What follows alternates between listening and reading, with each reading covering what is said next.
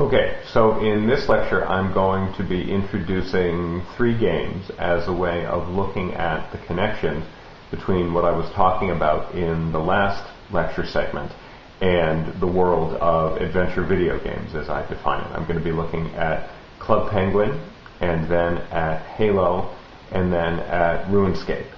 Um, so we'll start off with Club Penguin because it's the most basic I think and the easiest to grasp and uh, I'll show you how a penguin walks around, and as we go, I'll be pontificating about how exactly I see what the penguin is doing as being related to the stuff we were talking about in ancient epic with oral formulaic theory and the ideas of recomposition um, as Lord expresses them and as we can see them uh, in the Iliad and the Odyssey.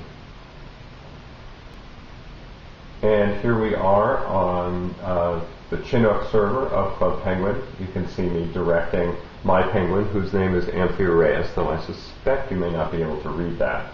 Um, and you can first of all see the various different things that people can do with their penguins. There's one here named Parthenon, and I wonder uh, if he has anything to do with the Video Games and Human Values Initiative. But in any event, what you'll see me do is walk around the world of Club Penguin. Now, what I need to uh, get across, first of all, is that the world itself is, in one sense at least, a kind of story in and of itself. That is, it tells the story of how penguins interact uh, in this wonderful snow-covered world, um, and how they throw snowballs. Oh, I missed. Never really been able to figure out how to hit this thing. There we go. Okay. Um, there are also individual little stories that you can play. Um, some of them uh, kind of longer and more narrative as we would think of it than others. But uh, it'll suffice, I think, um, if we just, for now, play um, what I'll be calling a mini game. Um, and that is my favorite mini game uh, in Club Penguin the jetpack adventure. So you'll see me going to the beach. Obviously, one way to look at this is me narrating the story of the penguin Amphiureus as he goes about his day. And the comparison that I really think works very well is to a bard singing a story about a hero and gradually going from things the hero might do on an everyday basis to adventures the hero might have based on pre-existing themes. Now, one way to look at the pre-existing theme here in Club Penguin is the world itself. Another way is to look at individual pre-existing themes like jetpack adventure.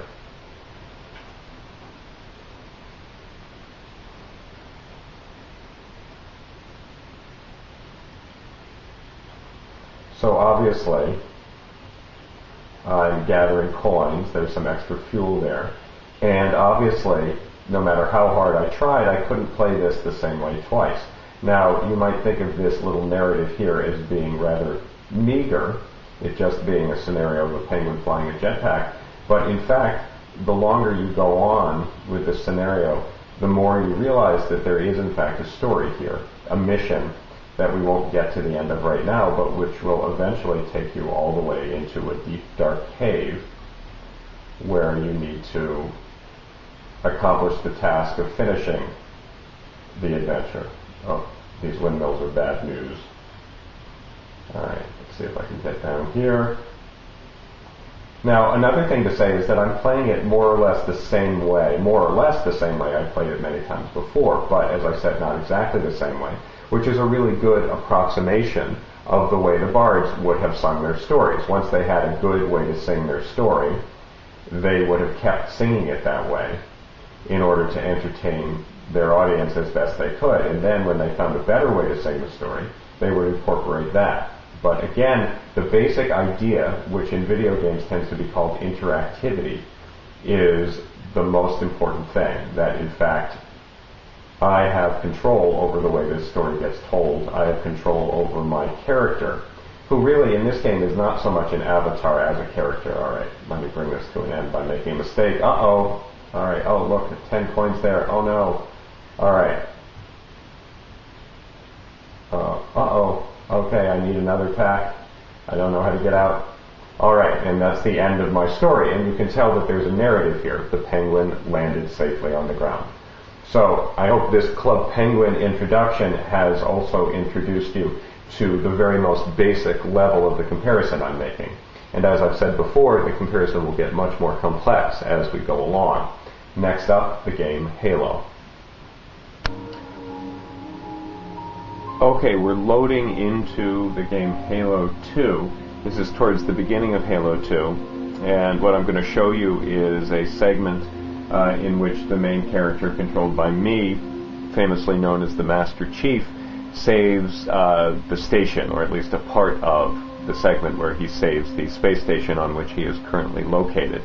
And uh, what I'm going to show you here is the same sort of interactive flexibility you saw with Club Penguin, but with a content.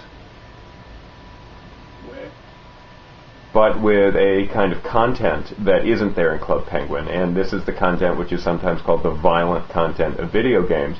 But what I'm going to try to call attention to here is how closely related it is to the content that we find in the Iliad and the Odyssey, and that you know about from having at least read the summaries that I asked you to read about what the Iliad and the Odyssey are about.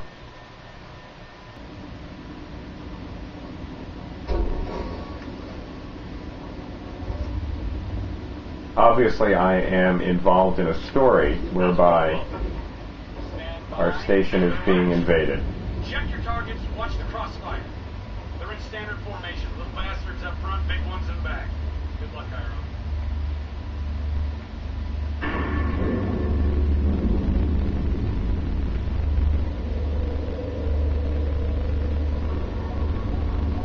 Feel the fire on that bulkhead. As soon as that door opens, let them have it.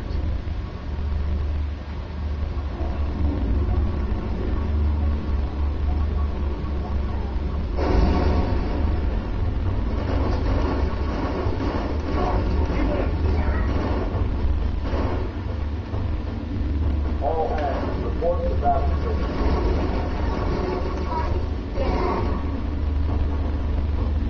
Damn, my day. So obviously what you saw was me more or less successfully defending the station and just as I keep saying, I could have done it in any of a number of ways and eventually found the most effective way and re-approximated that every time the same way a bard would have with say the story of how Achilles and Agamemnon had their argument or the story of how Athena came to Telemachus and what Telemachus said to his mother. The idea, of course, is that the oral formulaic nature of epic and the interactive nature of adventure video games, where stories are made up by the person who is playing the story and composing the story, the way that Lord puts it, are at least highly analogous. All right, next up will be RuneScape, the other required game for the course.